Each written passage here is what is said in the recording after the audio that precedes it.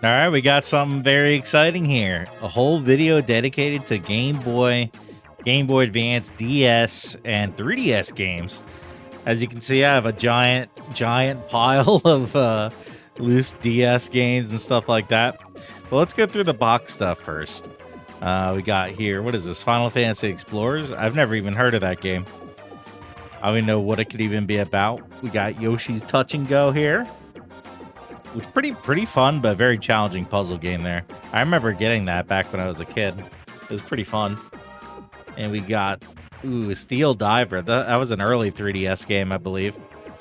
Yeah, DS, 3DS, very popular systems. Really, really, really popular systems. Uh, I think they might have done better than the Nintendo's home systems, honestly. And yeah, there's a lot of just weird uh, games for it. A lot of kids games, a lot of licensed games, like this Transformers game here. Uh, there's really all sorts of stuff for the DS and the 3DS. I never really explored the library too much, but I would like to one day. I'd like to get get into the DS and all that. I think it'd be pretty fun. Mario and Sonic at the Olympics. Yeah, yeah, yeah. Okay, let's get on to the uh, premium stuff here. We got Mario Kart DS. Fantastic racing game right there. We've got the uh, NES Metroid brought over to the Game Boy Advance. Super Mario Brothers 3. They did a lot of great ports for the uh, Game Boy Advance there. Sonic Advance 1 through 3. That one's Sonic Advance 3. Great game. And here's a really cool one old Game Boy Turtles game. Turtles 3 Radical Rescue. Man, I love these original Game Boy games. Castlevania Legends here, another great example. I absolutely love this stuff. It's such it's so old school, dude. It's hard to hate it. Of course, Rhythm Heaven, and uh, now we dive into the uh, forbidden pile here. will we hit trash or will we hit treasure? Disney's Bolt, I'm gonna say is trash.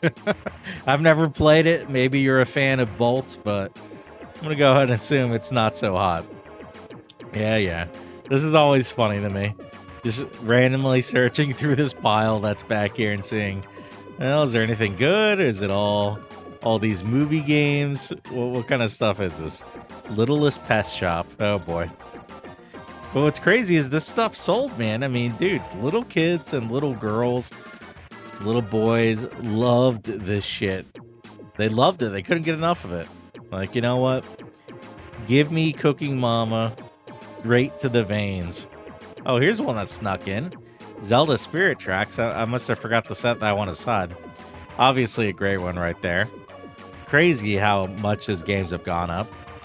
Garfield's Fun Fest. What else we got here? Nickelodeon. Guitar Hero. Yeah, they they kind of just this is the era when they just kind of started dumping everything they could on the DS. Imagine babies, Lego Star Wars. I mean, there was a there was a lot of DS games, man. The system had sold like crazy. So, uh, oh, SpongeBob SquarePants there. The DS especially.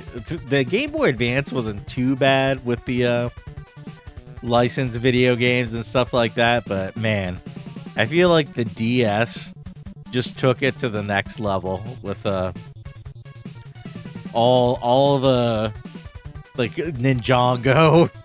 yeah, Ninjago there. Well, this game's actually pretty good. The Turtles uh, DS games are pretty fun. Yeah, Cookie Mama, what Pampered Pets too.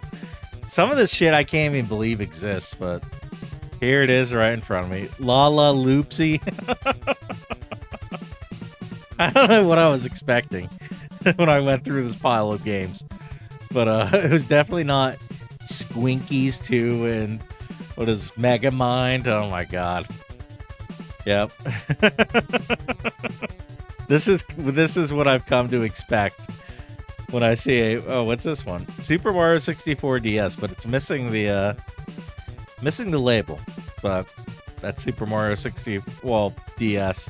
Did they really call it Super Mario 64 DS? That's a kind of a weird name now I think about it, but whatever. Yeah, Ben 10. There we go. Yep. Madagascar. and Super Mario 64 DS. Yeah, they did call it that.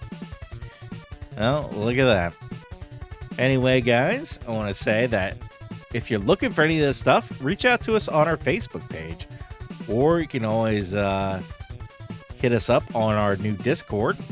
And why don't you go ahead and check out our Twitch streams, which we do every weekday from 4 p.m. to 10 p.m., where you can see me play a bunch of the uh, classic games on the original hardware. We have a lot of fun. And I'll, uh, I'll see you guys next time after I recover from seeing all these abominations here. Namco Museum, that's not too bad. All right, take it easy.